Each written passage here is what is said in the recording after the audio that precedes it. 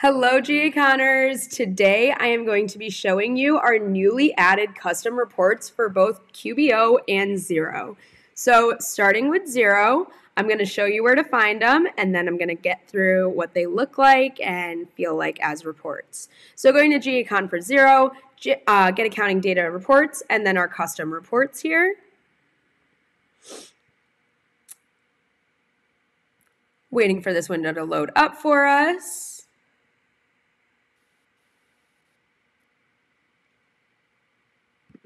All right, so heading into our drop down, to start, we have our new aged payables by contact groups and then aged payables detail in the customer currency. We also have our aged receivables in the customer currency and then our aged receivables by contact groups.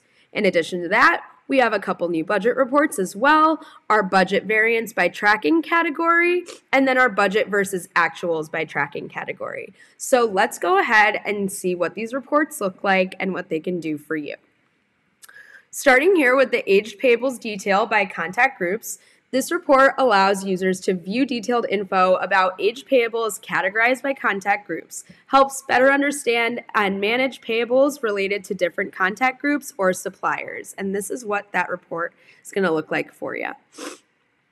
Moving on over to our age payables details in the customer currency. This report provides info on age payables in the customer's currency, which is particularly useful for businesses dealing with international transactions and multiple currencies.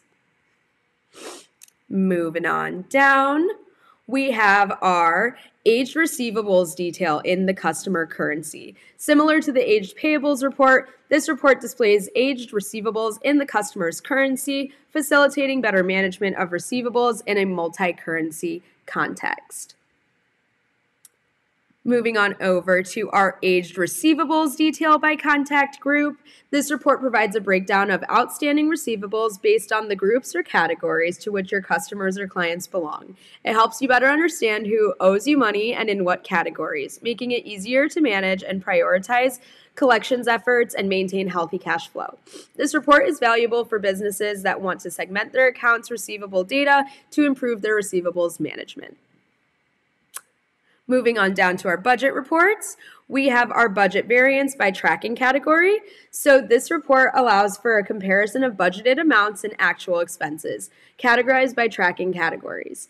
It helps in tracking budget adherence and identifying areas where there are variances. Moving on down to our budget versus actuals by tracking category.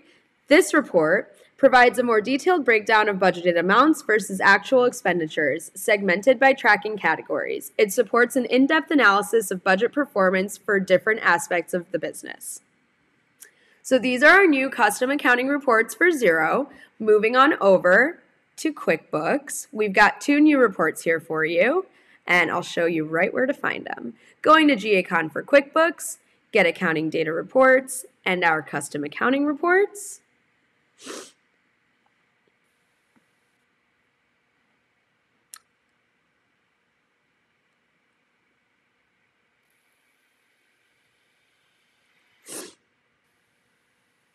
Letting this window load up for us. The two new reports that we have for you guys here are our cash transactions report and then our project profitability profitability summary report. Let's get into what these look like and what they can do for you. So as you can see here, I've got our cash transactions report. So this is now easily generates a profit and loss reports with a comparison feature, allowing for a side-by-side analysis of different classes or categories.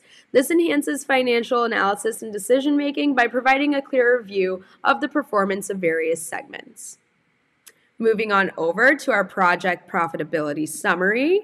Here, historical view reports have been introduced, enabling users to track and compare financial data over time.